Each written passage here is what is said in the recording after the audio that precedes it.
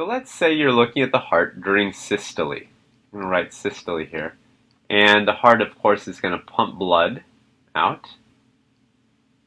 And it's going to go into the aorta. So this is the aorta. And I'm not drawing it very accurately because we know that the aorta is not long and stretched out like that. It's got a lot of branches and, and definitely doesn't go off to the uh, left like that. But just uh, humor me for a second because I want to show you something really cool.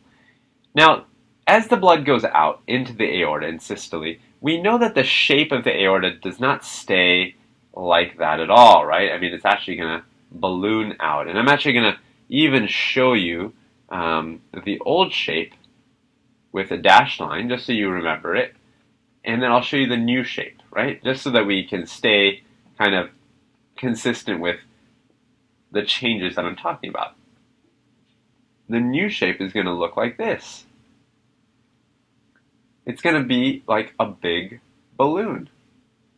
And we know that this happens because we talked about the idea of compliance. You recall we talked about how if you have a certain amount of pressure and you actually want to look at the volume over pressure, that for an artery, like the aorta is an artery, you actually have changes like this. So basically, as the pressure goes up, the volume goes up. And so we know that the arteries, uh, specifically the aorta, is going to balloon out a little bit like that.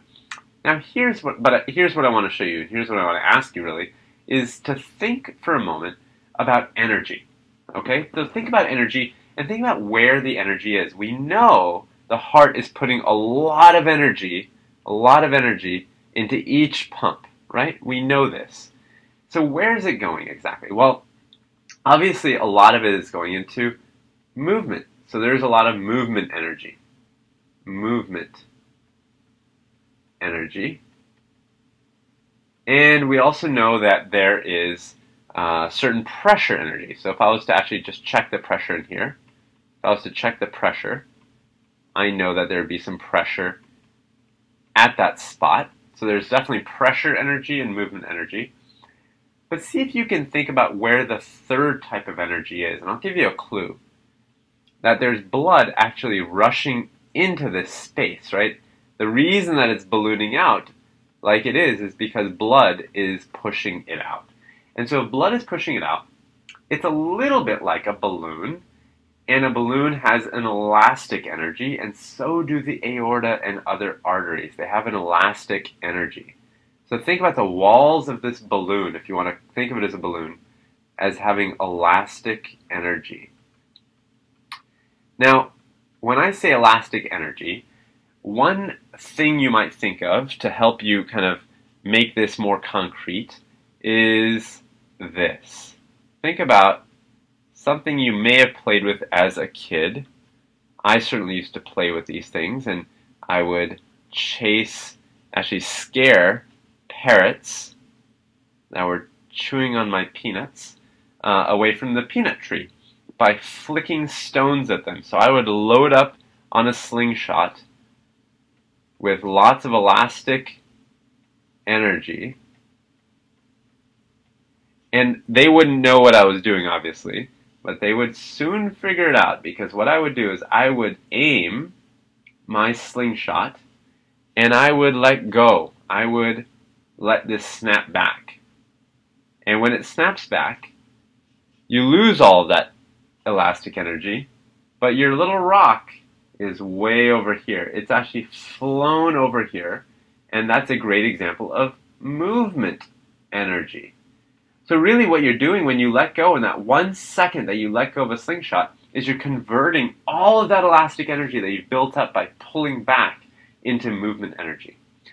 And the same thing is happening here. So in diastole, you have a very similar situation. You have, again, your heart, and your heart is now refilling or, or uh, getting a chance to kind of relax for just a moment, and that aorta begins to kind of collapse back down to its original shape. It doesn't actually take the exact original shape, and that's because there is some pressure still here pushing it out.